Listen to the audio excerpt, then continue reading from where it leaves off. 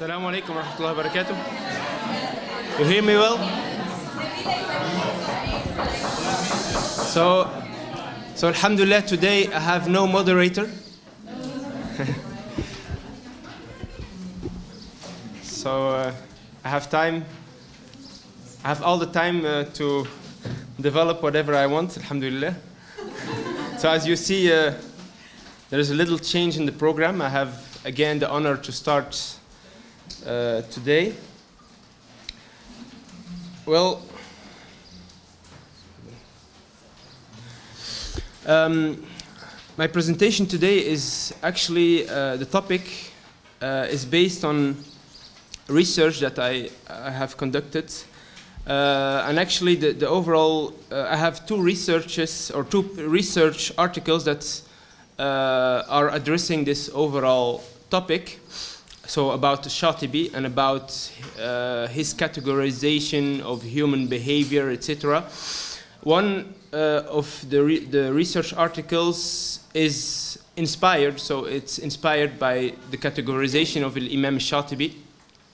And the second is a reply on Imam Shatibi, a critical, uh, a critical uh, reply on Imam Shatibi about this categorization. So it can be, it can seem uh, paradoxal. On one hand, uh, there is a, an inspiration. On the other hand, is a reply.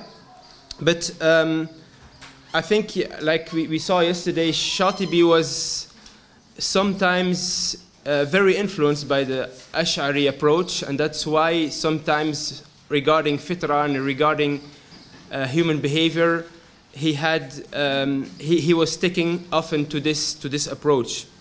Now, I was hes hesitating about which of the two papers to present, uh, and and actually I, I, I, I selected the first one, which is an inspiration, because uh, I was hesitating because the second one actually from the second one I learned more than from the from the first one. From the you know critical engagement with Imam Shatibi, I learned much more than from just you know being inspired from from some of his categories.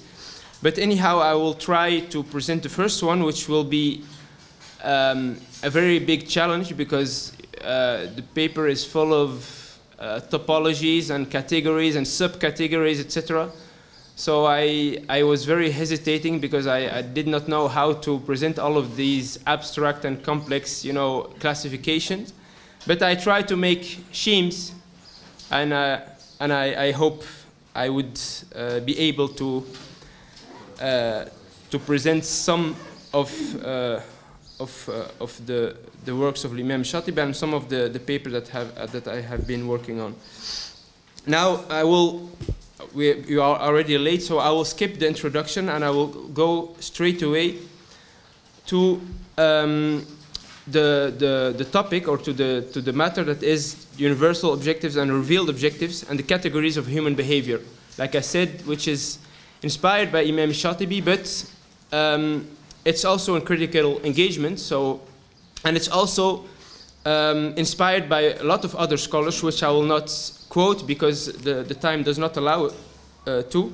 But uh, some of the terminologies, like for example, the terminology of uh, universal objective and revealed objective, this was not used by Shatibi in this categorization, but this is something that we can find in Islamic theology in general. Now, first of all, the universal objective and the revealed, obje the revealed objectives. So, the universal will and objectives, yes, the universal uh, and the revealed will, الإرادة التكوينية. What we mean by this is that Allah subhanahu wa ta'ala, so in his, in his creation, everything in the, in the creation, whether it is the created part or whether it, is, whether it is the part that is related to the human behavior relates to the, to the universal will. So it's willed by Allah. It's from His will. Even the bad, even the, what we can uh, see as evil, everything is inscoped by what is called the revealed, or the excuse me, the, the universal, the universal will. So this is called also by some theologians al-mashi'a. Al-mashi'a is so uh, the revealed, uh, the universal will only, while al-irada is uh, is is is from for some theologians uh, the revealed will. So what we mean by this is what Allah subhanahu wa ta'ala has established in universe without making it depending from an revealed injunc injunction. This is the universal will. And some parts, like we will see in the Shim, some parts of this universal will are totally beyond human choice and they cannot defect. For example, the fact that, you know, universe exists and is regulated by a defined, a well-defined, you know, law. The fact that you, you are from a certain lineage, or the fact that you have certain uh, physical characteristics, or even physical, um, uh, how do you say it, physical um, mis, uh, misformation, etc. All of this is from the universal will and it's totally beyond human choice and it cannot defect. And here in this universal will we have, of course, good and we have evil. And the good, like you see in the Shim, the good relates to the universal objectives. And the evil does not relate to the universal objective, but is from the universal will. Well, why? Because God's everything behind His creation and behind you know the universal will, the objective behind it is the good. So the universal objective, the good re relates to universal objectives, while the evil does not, because the evil behind this universal will is not the objective behind it is not wanted, but what is wanted is the good behind this evil. And we have also a category that is universal will with a relative choice.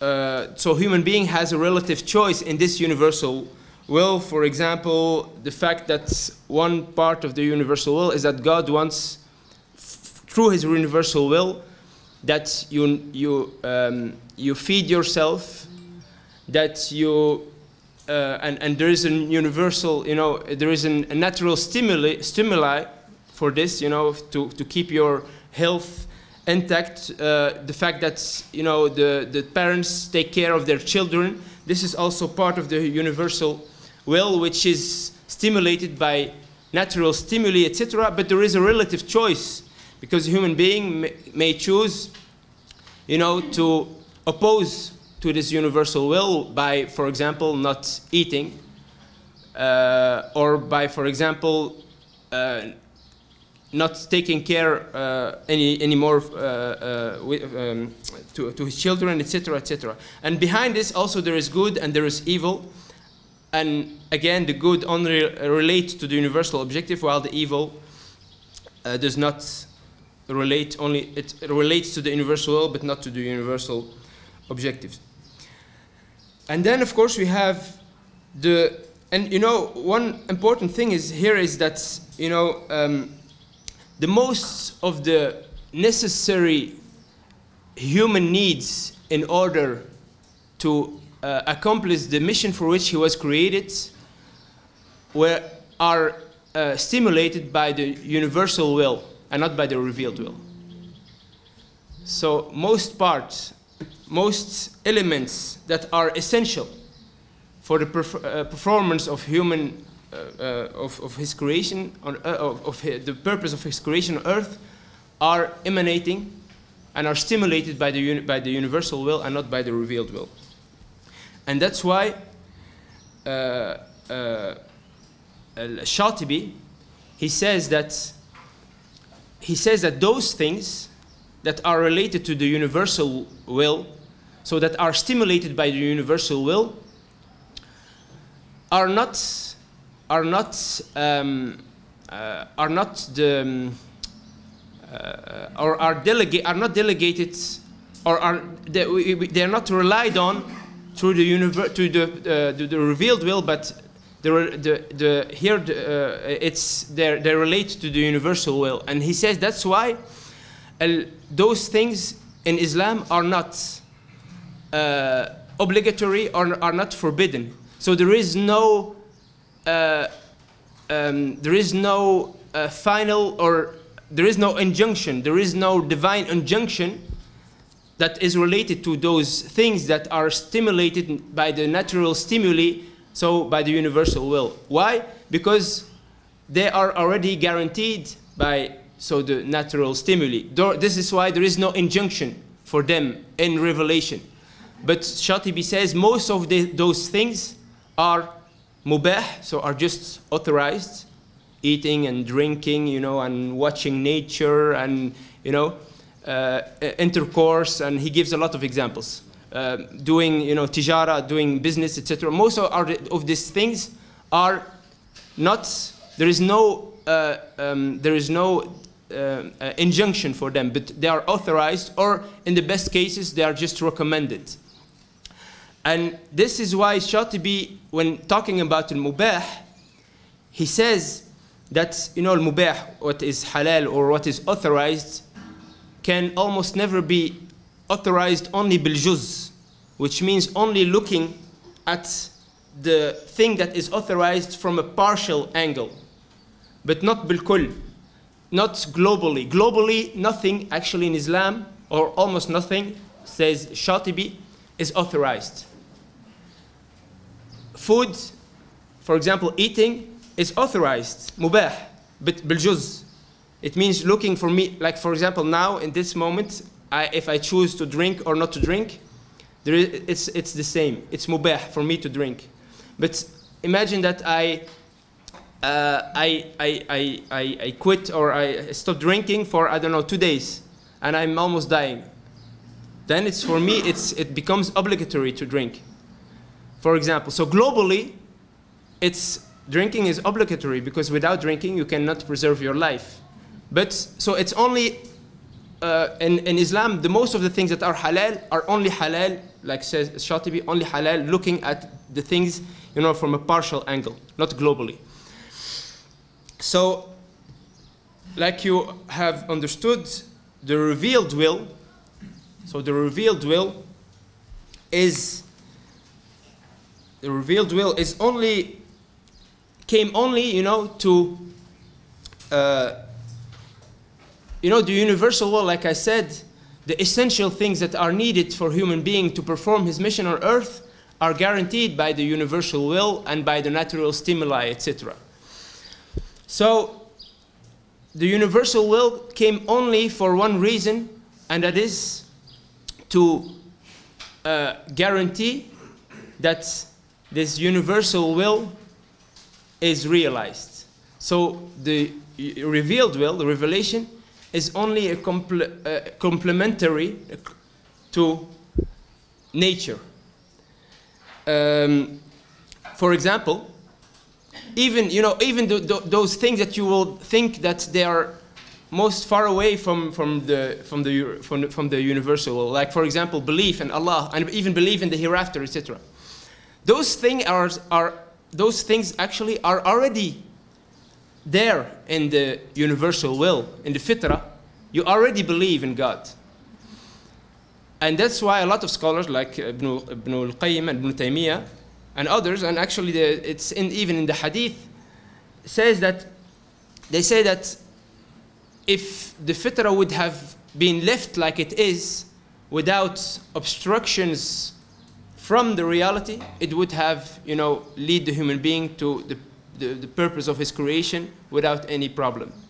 And of course, this is based on texts.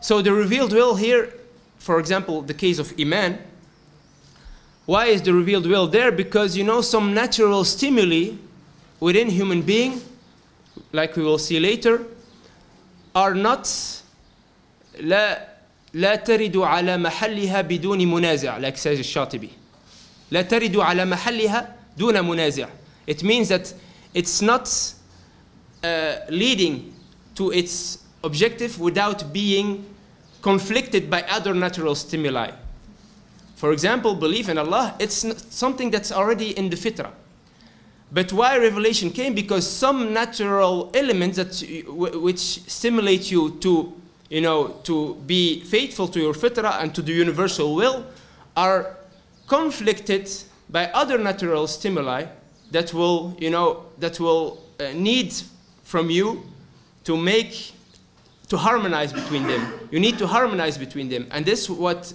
that, that, that is a task of revelation. The task of revelation is to enable you to harmonize between all of your those stimuli or stimuli that are there to realize the reve- revealed will. And we may go in, in, in detail more later later on. So divine will and objectives and human behavior, like you have understood, we will use the, the term universal will in this presentation to refer to the natural stimuli that motivates human action to behavior that complies with the divine universal objective. This is what we mean by, and of course you have, I, I have uh, give you the, you know, this, uh, the slides, huh? you have it, huh? And we'll use the term revealed will to refer to, to the religious stimuli that motivates human action to behavior that complies with the divine revealed and universal objective. This is the role of revelation. And then bad human behavior is a part of the universal will, but is not motivated by the universal will, like you understood. So, you know, bad human, human behavior is part of the universal will because, you know, everything falls under the universal will. But it's not stimulated by the universal will. But it's stimulated by the fact that this universal stimuli were not managed as they should be. And so, what happened that created a disorder uh, uh, and this disorder, you know, if you don't manage this natural stimuli to harmonize them, a disorder in the natural stimuli is created, which end up in the transgression of both, uh, both divine wills, religious and, uh, and uh, revealed and universal.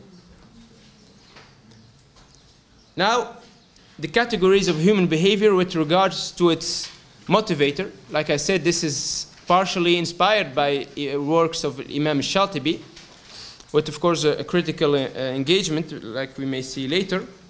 So we have categorized human behavior with regard to its motivator to, into three categories.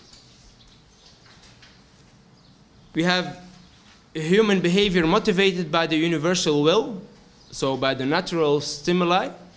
We have human behavior motivated by the revealed will, by the religious stimuli, and we have human behavior motivated by the disorder of the natural uh, stimuli. I said that, you know, actually the, the natural stimuli are supposed to lead us, you know, to, the, um, to be in harmony with the universal will and to, with the universal objectives. But if we don't manage, because some natural stimuli, like we will see later, are, you know, leading you to the universal will and universal objectives without any, eh, or without any strong, um, without any strong resistance from other natural stimuli. But, but some natural stimuli are conflicted by other natural stimuli. And if this conflict is not harmonized, then uh, there, there will be a disorder in the natural stimuli. One natural stimuli may yatra, may transgress, you know, and may go out of its uh, limits, and may, you know, um, uh, there, there may be an, a disorder created between the natural stimuli.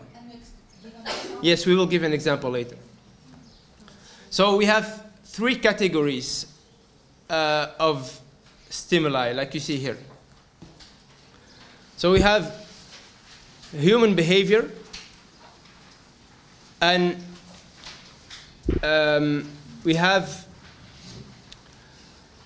human, so we have three categories. Human, uh, human behavior motivated by the universal will, so by the natural stimuli. And you have human behavior, and this human behavior uh, motivated by the, natural, by the universal will, will will lead to the universal objectives. And this uh, behavior, human behavior motivated by the universal will, is motivated by the biological fitra, you know, the, the biological nature, the nature of your, you know, uh, the, the, your physical nature, by the spiritual fitra, you know, the spiritual fitra, the, the essence of the human being that is, you know, aspiring to the universal objective. Your fitra is aspiring to worship God, to, uh, you know, is aspiring to, to, to justice, is aspiring to absolute justice, to absolute freedom, to absolute beauty, to absolute happiness, etc., etc. So this is the, the, your spiritual fitra. Also absolute knowledge, etc. And then there is the construction of both. So if this bi- biological fitra stays, you know, um, stays uh, um, uh, uh, healthy, and the spiritual fitra also, there is, you know, a construction of both, which is called a nafs. A nafs is a construction of the physical and the spiritual dimension of human being. This, you know, this, the, the marriage of the two.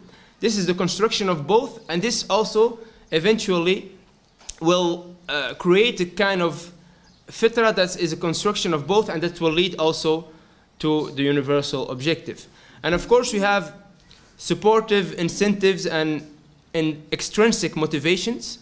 So this fitra, there is a, there is a dialectic relationship between those three uh, dimensions of the fitra and the, the, the, what we can call, what is called in psychology, ex- extrinsic motivations. So we have education, we have the law, we have society, we have also inherent factors, experimental elements. All of those elements will, will, will interact, you know, if they, you know, there is an interaction because your, your fitra, your biological fitra and spiritual fitra and the construction of both is you know, ending in a creation of a certain reality, on the certain education. You know, education and um, education and and the law and the society, etc. Big part of it is emanating from your fitra, from you know your those human aspirations that are already innated in him. And this is why, by the way, I did not categorize, when I had the categories of human behavior, I had only three categories either motivated by the natural stimuli or the religious stimuli or the disorder of, of the natural stimuli. I have only three categories. Why did not talk, why did not uh, talk about, why did I, did I not talk about the, the educational stimuli, stimuli or the legal stimuli or the social stimuli or the inherited you know, stimuli or the experimental stimuli. I did not talk about both, uh, about those, because at the end of the day, those are nothing, nothing but the results of the fitra or a result of the distortion of the fitra. No, I'm, I'm talking about the, the, the, the construction and the inner nature of, the, of, the, of your biological uh, reality. Yeah, I mean, this is the human body. But then the spiritual fitra, this is, you know, the, the, the, the, the ruh, you know, the spirit. And then the, the nafs is the construction of both. Again, why did not, did I, in my categorization of the, the, the, the, the motivation or the, the stimuli that motivates human action, why did I not talk about legal uh, stimuli and social stimuli and inherited stimuli, etc.? Because, like I said, actually the human being in his legal in the legal system that he created or in the, in the education, uh, educational system that he created, etc., etc. This is a result of either his fitra, you know, or either a distortion of it. There is no, you know, the human, human by himself, he cannot, he has a choice between sticking to his fitra or between contradicting his fitra. There is no third choice, actually. Everything that he's doing, you know, even the, the things that, that looks like most far away from what we can consider as fitra or something. Like, for example, the traffic, uh, the traffic, uh, how do you say it? قانون المرور, the, the traffic rules, for example. Those are, are stimulated by, by, by, the, by what's already in the human being in terms of, you know, uh, aspiration for maybe justice or for maybe preserving his life or for maybe preserving his, you know, his, uh, his uh, properties, etc., etc. So this is why I did not talk about those other stimuli because those other stimuli are constructed by the human being from his fitra or from a distortion of it. And I did not categorize them, this, this is why I did not categorize them uh, differently. Now, of course, like you see, the revealed objectives the revealed objectives like you see in the Shim are under the universal objectives. Because at the end of the day, the purpose of the revealed objectives is to realize the universal objectives. Like I said, everything which, uh, which re revelation came with is already there in human being. You know, religion came with asking you to believe in God, but you already believe in God. You already believe in Him. So it's only there for what? to stimulate or to vitalize this belief, to make sure that you know this belief that's already in you is not conflicted by something else, you know, by your aspiration for, you know, for possession or by, your, by other aspirations, by other stim natural stimuli. There is no conflict and there is harmony between them. So religion came only, you know, to support uh, nature and to support. So revealed objectives are there to help realize the universal objectives. So then the second category is the, uh, is the um, behavior motivated by the revealed will, and so we have elements and revelations supporting the biological fitra, elements supporting the spiritual fitra, elements supporting the healthy construction of both spiritual and biological. And then we have the, the third category that is human cho choice to transgress both wills and here, of course, we have also supportive incentives and extrinsic motivation.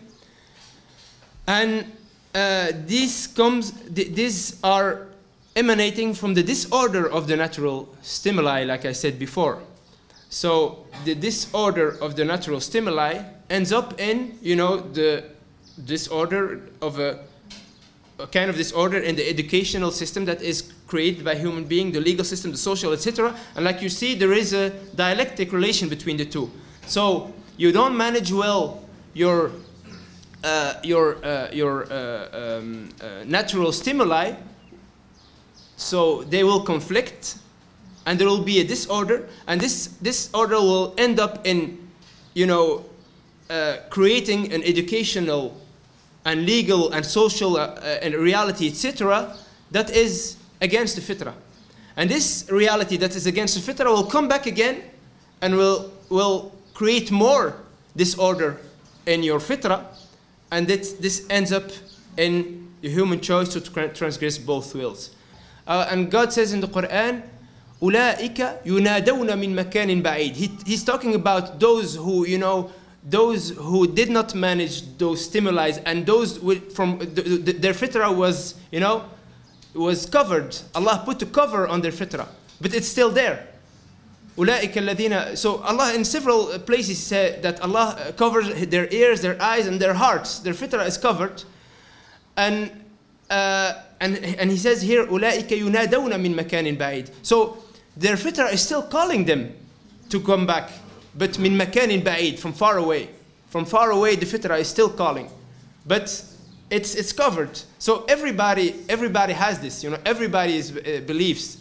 And everybody has as aspirations for justice and aspiration, etc. But some of them, you know, because of the, they did not, you know, they let themselves go and they did not manage themselves, you know, they, they, um, their fitra got covered under layers of, of covers that came from those, those you know, uh, ex uh, external elements. And so here the human choice to transgress both wills, again, we have in, in the human choice to transgress both wills, this falls under the universal will. When, when somebody kills somebody, this is the universal will, of course. But is this the and in, in, the, in the, the fact that somebody kills somebody, is there good in it? Yes, there is good. Because God, in His universal will, th- there is always good. And there is bad also. But the bad is not meant by God, and this is why it doesn't fall under the universal objective, even though uh, it falls under the universal will. For example, I give you, uh, when I kill somebody, it's evil because it's going against the universal will and the revealed will. But there is good behind it.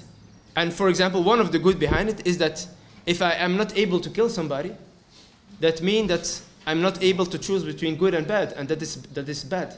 The, the, only, the only fact that I'm able to choose between good and bad is good. So the good behind the fact that I'm able to kill, this is what Allah wants. The good behind it is that I'm able to choose. And if I'm able to choose, that means that I'm, am I, I, am, I am responsible. I carry the amana. If I carry the amana, it means that I'm mukarram.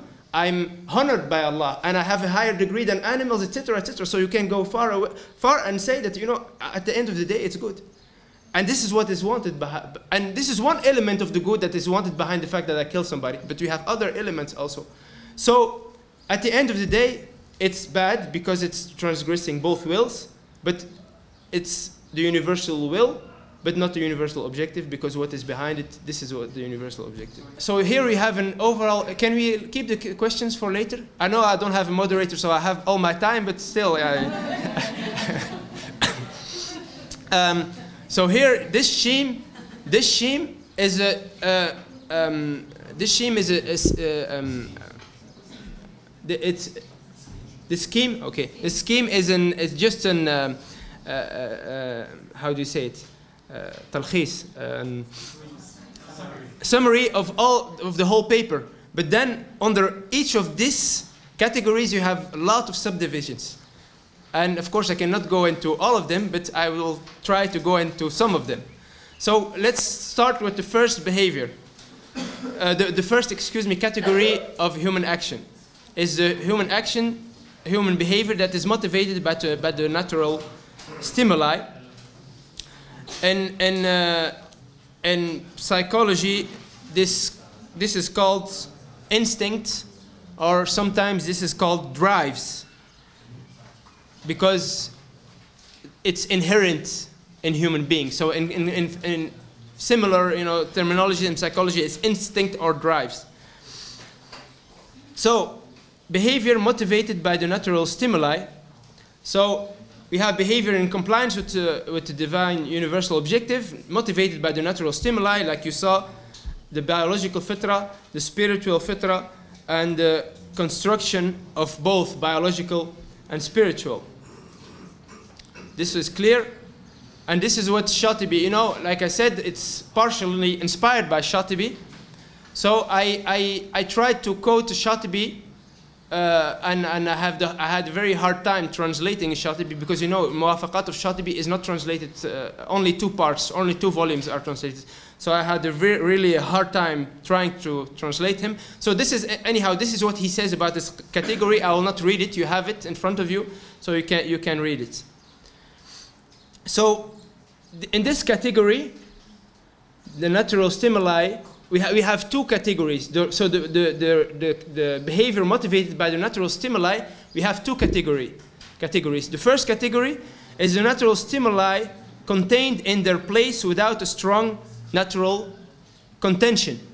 So it means this natural stimuli leads you to stick to the uh, uh, universal to the universal objectives without any natural without any strong natural contention.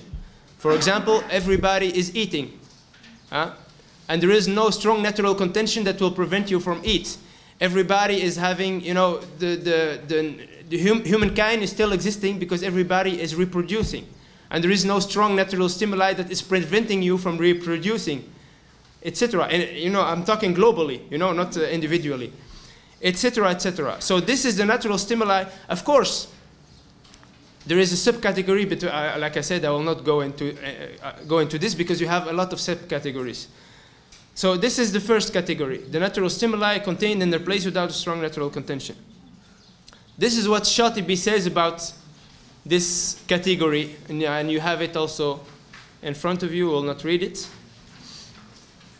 Then the second category is the natural stimuli that are conflicted by other natural stimuli. So here we have natural stimuli that are supposed also to lead you to, the, to stick to the, to the universal objectives, but they are conflicted by other natural stimuli. And we, can, we, we gave already several examples. For example, the fact that you know, human being aspires for justice. Everybody aspires for justice. But this aspiration sometimes it's conflicted by other natural stimuli. For example, everybody aspires also for position, possession, and for you know, uh, everybody uh, aspires for you know, for taking care of himself and you know having having a good uh, uh, social position, etc. This aspiration aspirations can conflict your aspiration for justice. So this aspiration for justice is not, you know, leading to the to the universal objective without being conflicted by other natural stimuli. And here comes the role of revelation. So the revelation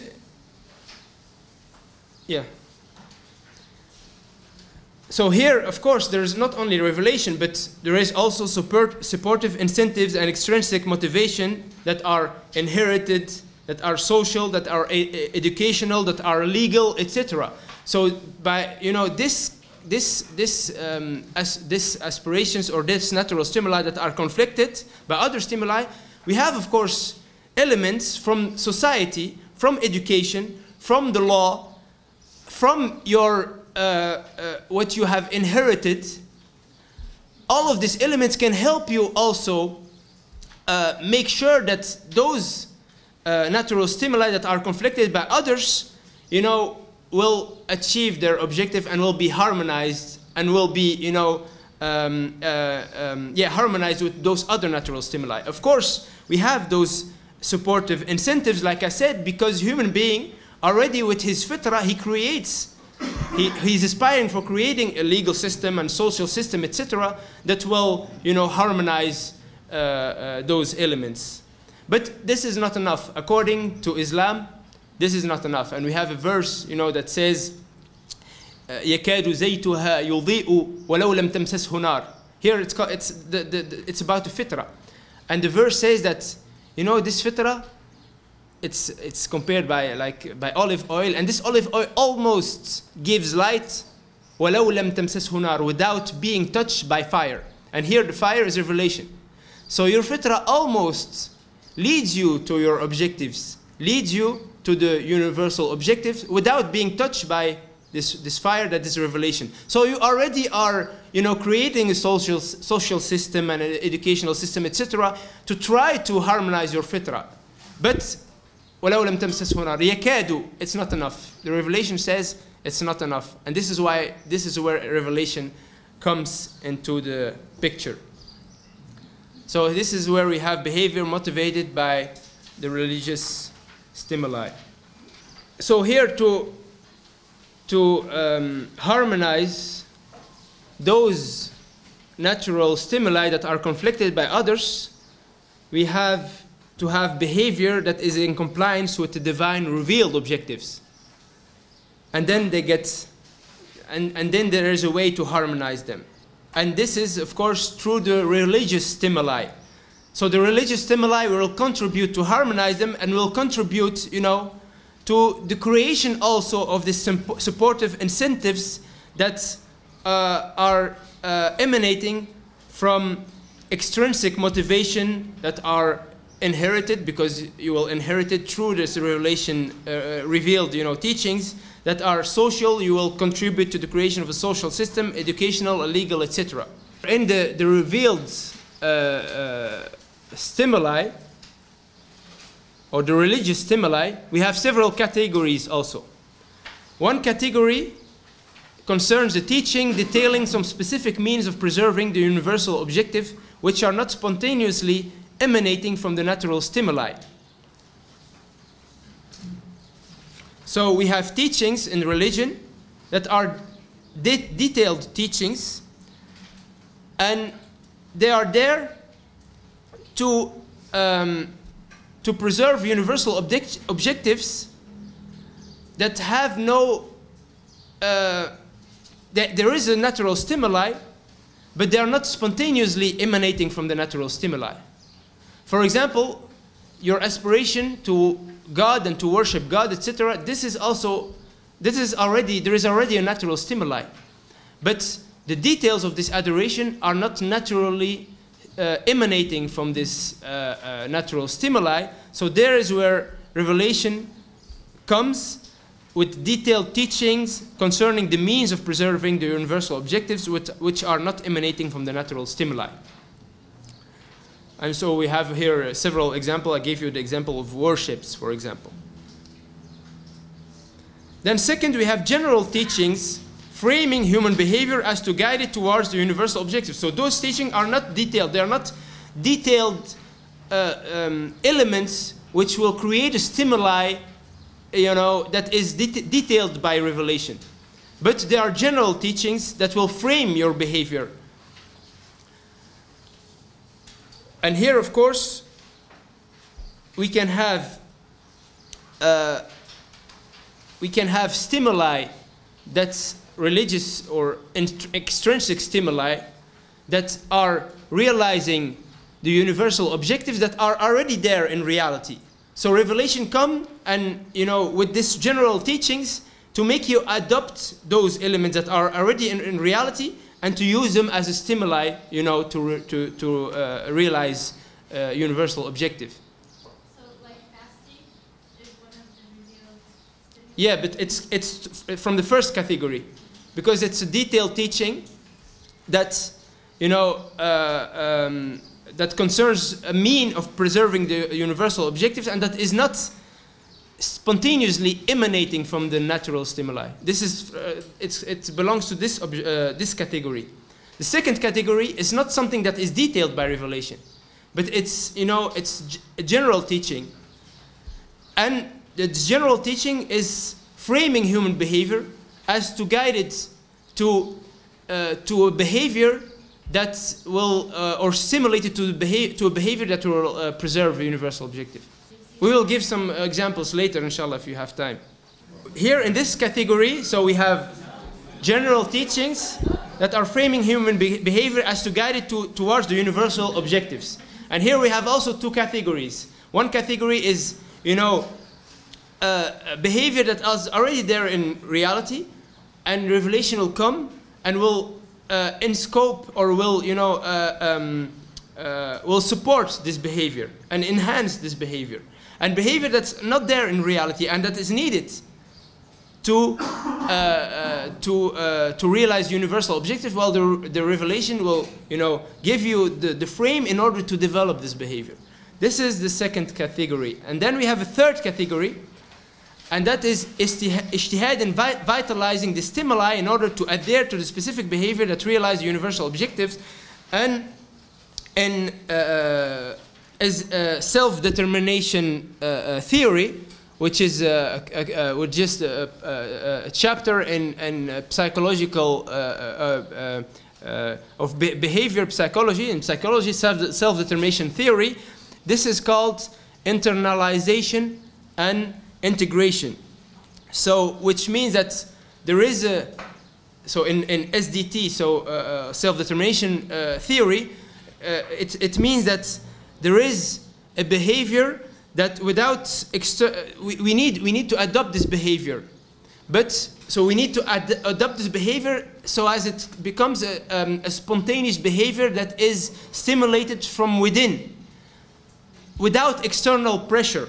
So we try to integrate this behavior as to become part of our you know natural natural disposition and of course i think i think it's very interesting when i was reading this in psychology it's very interesting because in islam you know we should the ijtihad should, should be you know di- directed to this and the prophet ﷺ says uh, لا يؤمن أحدكم حتى يكون هواه تبعا لما جئت به nobody of you believe until his desires becomes in harmony with which I came with, with that which I came with. The Prophet came with what? Religion, which is fitra, because re- uh, religion is fitra. So, which means that nobody of you will believe until you know his behavior is spontaneously, uh, you know, uh, uh, in, in, in, in harmony with, with the fitra and emanating. So here we, we need to have ijtihad in order to, you know, those things that, that we are not integrating and we are not liking spontaneously, that we are integrate them as to become, you know, in harmony with our fitra. Now the third category is behavior motivated by the disorder of the natural stimuli.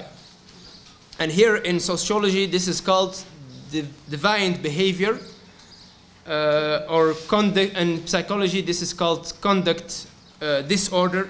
But you know, we can discuss the terms because it's not completely what we mean here. So, here we have also two categories. We have uh, behavior that it's in opposition with both revealed and object, uh, um, universal and revealed objective, and we have behavior that is openly, openly contradicting, contradicting both wills, and we have behavior that is driven, it's contradicting both wills because it's driven through an interaction of a number of factors. You know, Imam Shatibi, this is what he say about the first category. Uh, you, can, you can read it. But just to win sometimes, we will try to go fast. Uh, uh, so we have also several categories here. The first categories, so talking about the, we have in, innate means to achieve the universal objective. To achieve the universal objective, we have innate means. So natural stimuli. This natural stimuli of course, leads normally spontaneously to the universal objective. But, but because a human being, not like animals and other elements of the creation, he has a free will, he has the ability to contradict his natural stimuli.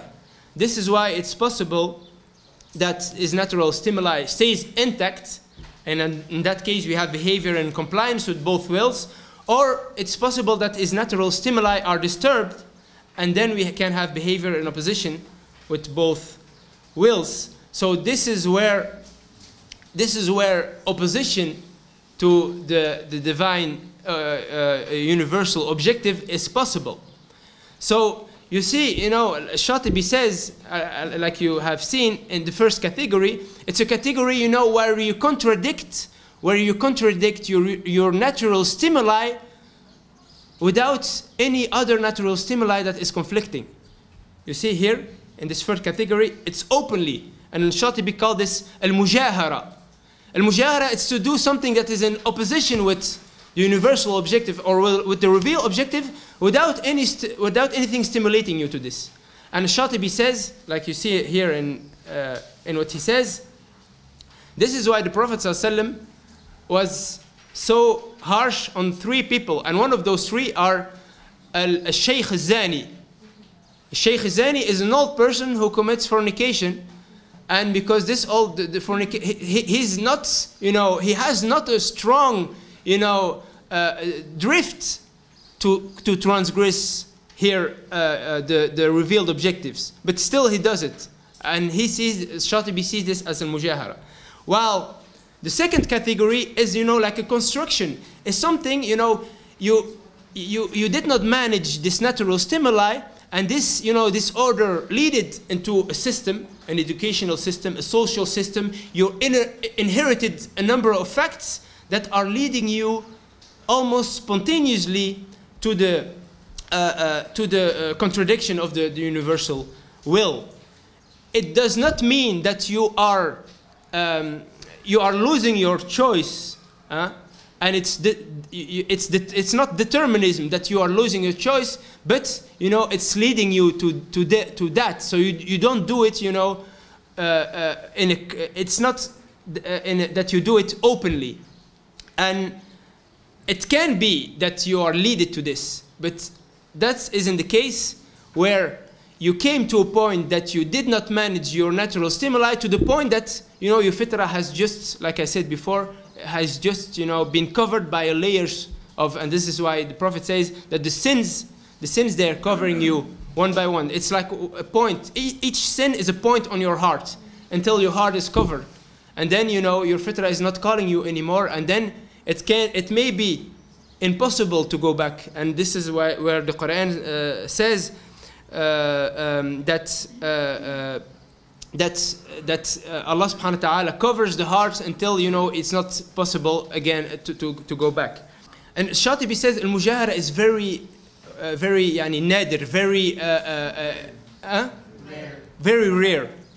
That you you know you are doing a sin, just you know there is nothing. You are not stimulated by anything. You're just doing it without anything that you know is leading you. Huh? No, it's always free choice. You know, even if you are stimulated, it's free choice. But it's a construction of, you know, this disorder of the natural stimuli leads to a social construction, a system, etc., that is leading you, you know, to, to, the, to, to, this, uh, to this behavior that is in opposition. But anyhow, it's a choice.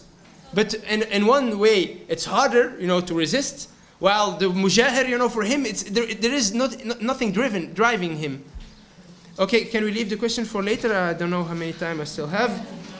Then we can come to the example. I have five minutes and a half.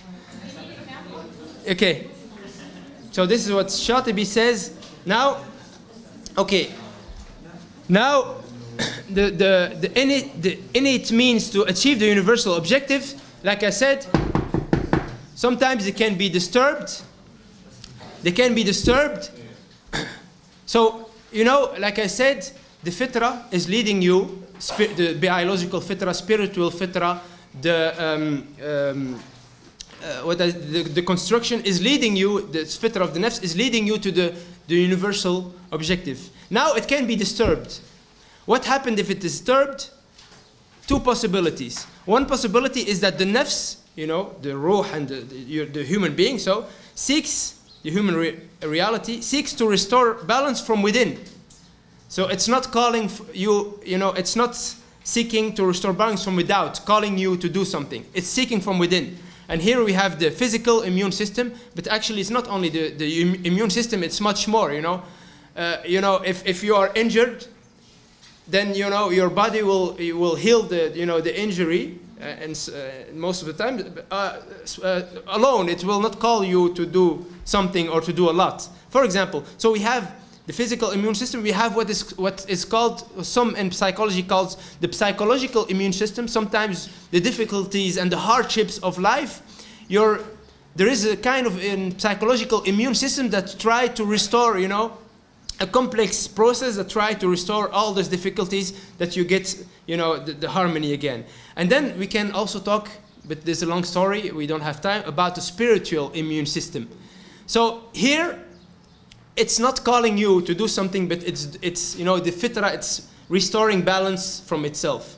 But it's also possible that the nafs seek to restore balance from without. It it cannot. It's too much. You did too much.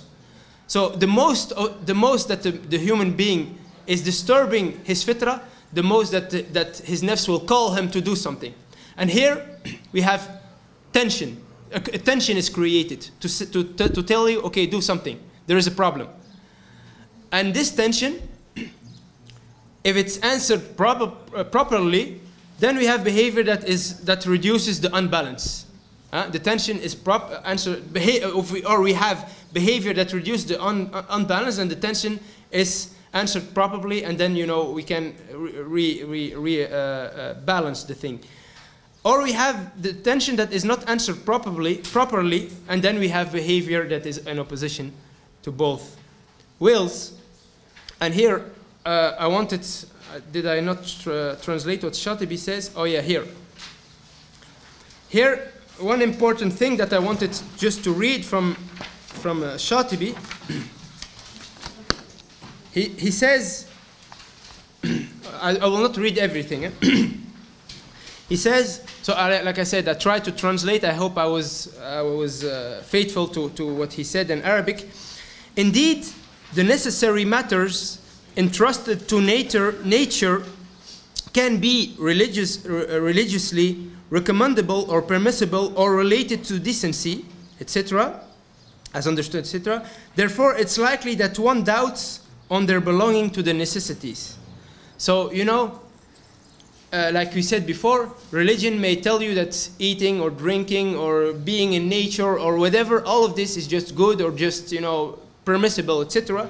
And there, he said the danger is to think that this, uh, you, or the danger is that people become, uh, will doubt that those things are necessities. They'll think they're not daruriyat, they are not necessities, they're just hajiyat, etc.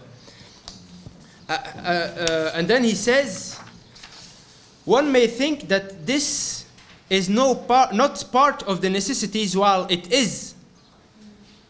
And then he says, that's why attention was drawn on this so that the mujtahid keep this in mind. So he said to the mujtahid, keep in mind, while doing your ijtihad, that, you know, some things are not in the text and not, you know, uh, uh, recommended or not, you know, there is no uh, imperative, uh, there is no imperative um, injunction in text about this. But don't think that this, not, this does not belong to the necessities. And, and here we can have our example of green urban planning. Um, so, so there is one fact that is proven by several studies that is that the human being is in need there is an fitra in his fitra he is in need of course you know when i was reading those studies we can agree about where did this fitra come from. According to all the studies i read you know it comes from where when the human being was a, a chasseur a gatherer um, how do you call it? A hunter gatherer where he was always in nature you know and where the everything depended on his on the nature and the cycles of day and night and the cycles of the seasons etc and so this is where he was constructed by this need of interacting with nature etc so we can we can discuss about this. But anyhow the fitra in his fitra the, the human being is a need to interact with nature is a need to be in nature in, is a need to watch nature etc etc this is a, a, a natural uh, uh, a natural aspiration and a natural need in human being. And his psychological and physical and even spiritual uh, health depend on this, or depend partially on this. And this is proven by a lot, of study in, in psychology, etc. And what happened is that with, uh, uh, and of course in religion, in religion, like we said, this is not, there is no religious injunction that is saying you have to be in nature, you have to interact with nature, etc., etc. But what we found in text is just that nature was created for you, etc. So uh, watch it, uh, walk in it, but it's not imperative. It's just you know it's allowed, etc. But what happened after the industrial uh, uh, revolution uh, in the in the beginning of the 19th century? Uh, that was uh, driven by the, the, the, the, the scientific and technological advances, uh, there is, there, there, we had the phenomena of industrialization. And the phenomena of industrialization has uh, uh, bring, brought uh, the, the, the phenomena of urban, urbanization, where you know, people start to settle in, in the big cities, etc. While before that, most of the people, you know, they lived as farmers or they lived in, you know, in, in, you know, in nature, with, in forests and in, in, in big farms, etc. And their rhythm of life depended on the cycles of the natural cycles of day and night or seasons, etc. And the interaction of, with nature was, uh, was very important, etc. But everything changed with this industrialization and urbanization, etc. and this changed the, the, the, natural rhythm of human being. What made that most of the human being now the studies say that approximately 50% of the of the human uh, of the human uh, global human population is living in urban settlements and they are expecting that in 2050 it will be more than 70% well most of the human being live indoors live indoors and their life does not depend anymore on the cycle of nature and even their interaction of nature become very weak and this brought about very problems on several levels psychological uh, physical, etc. And there is a lot of studies talking about this, talking about the lack of interaction with nature and the consequence on a lot of things, even on education, the consequence on the co- cognitive consequences, the psychological con- consequences, the physical, etc., etc. I, I just uh, pass you the details. And here, this, the, the debate, there is a debate about a lot of, or uh, there's, uh, we talk about a lot of solutions about green urban planning, green care, green education, green design, biophilic design, etc., etc. All of these things that you know are eventual. Maybe we have to look for solutions in order to, because like we saw in the Shim, now the nafs cannot res- restore the balance by itself. It's calling you. There is a tension. You know, there's psycholo- psychological problems, etc. It's calling you to do something to restore the, you know, this, you, this, uh, you, this natural stimuli in order to, to realize the, the universal objectives. So the green planning is one example of that. But if we go back to the Islamic thoughts, then we see, and the fiqh and the Islamic, you know, production, then we see that very little attention is, is brought to this. And uh, Islamic scholars see this as secondary thing, things, because what Shatibi says beco- become true. You know what, what did Shatibi say? I'm scared that some people, you know, by seeing that you know there is no religious injunction, injunction for this, will think that you know this is just secondary and this is not you know a higher objective. This is what he was scared about, about, and this is what happened. What happened is that scholars now saying that there is no injunction, you know. So this is secondary. And I can quote you people, Maqasidiyun, you know, big references in Maqasid al-Sharia that are saying those things, you know, green, green uh, cities, etc. I mean, it's good, it's good. Like, I mean, tahsiniyat, you know, there are luxuries or like the, what the sister called uh, um, uh, uh, embellishments. And this is not a priority. So this is an example, you know, about taking into, into account, you know, this natural stimuli and the universal objective in their whole, in ijtihad and in the religion, religious, ethical production, and also to build an ethical philosophy. And I think this, this uh, what sought to be developed, is a, it's also a good start and a good part of um, trying to think about building an ethical philosophy. والله أعلم وأحكم وآخر دعوانا الحمد لله رب العالمين